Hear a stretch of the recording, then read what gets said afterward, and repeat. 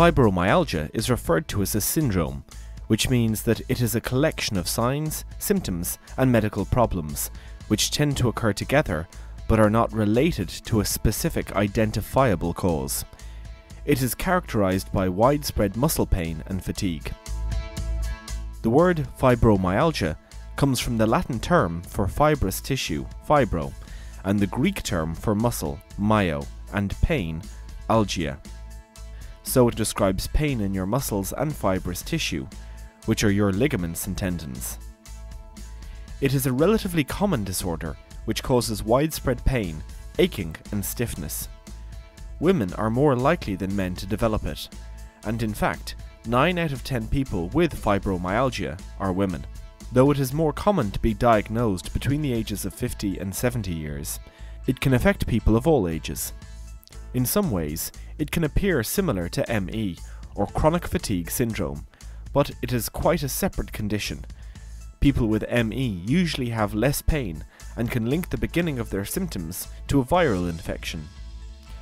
Fibromyalgia does not affect the joints specifically, so it is not a form of arthritis as such. It can, however, be just as debilitating.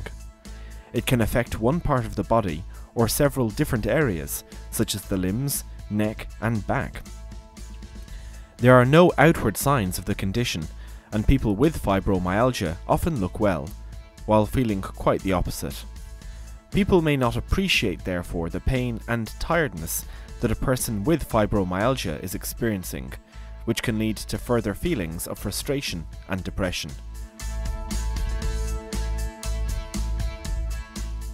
Fibromyalgia is an illness involving both the mind and the body, but there is no suggestion that the symptoms are actually in the mind or imagined. While we don't understand what causes it, there is now a better understanding of the link between the physical and mental aspects of fibromyalgia, and it is clear that the origins of the condition are complex, with a number of possible and interrelated causes. Many people associate the development of fibromyalgia with a physical or emotional trauma such as an accident or bereavement. Worry or stress brought on by events or relationships at home or at work may also be important factors. In some people, it is associated with an illness, and people with rheumatoid arthritis, or lupus for instance, may be more likely to develop fibromyalgia. The amount of pain felt is often affected by the way you are feeling.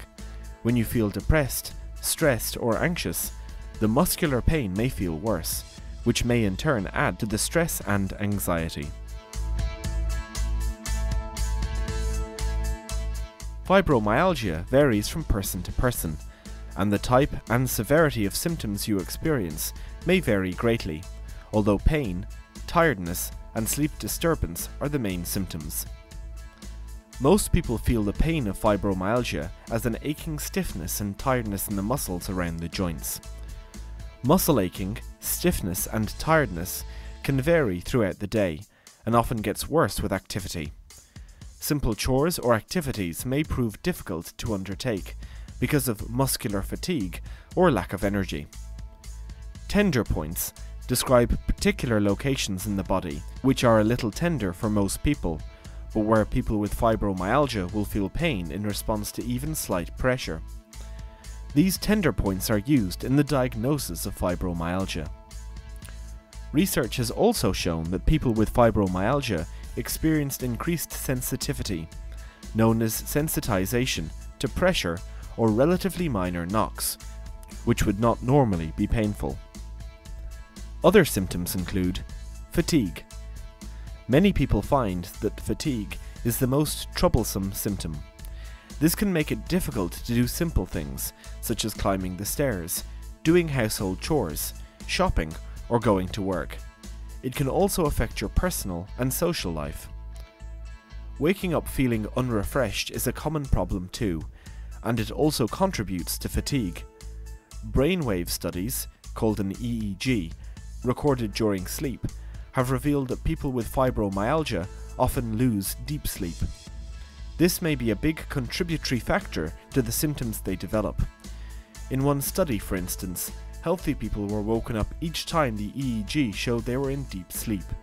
then they experienced the typical symptoms associated with fibromyalgia. Poor concentration and memory problems are common, which are sometimes referred to as fibro fog. Poor circulation can cause tingling, numbness, or swelling of hands or feet. And irritable bowel syndrome and an urgency to pass urine are also associated. Many people with fibromyalgia can also experience feelings of frustration, anger, and emotional upset, including anxiety and depression.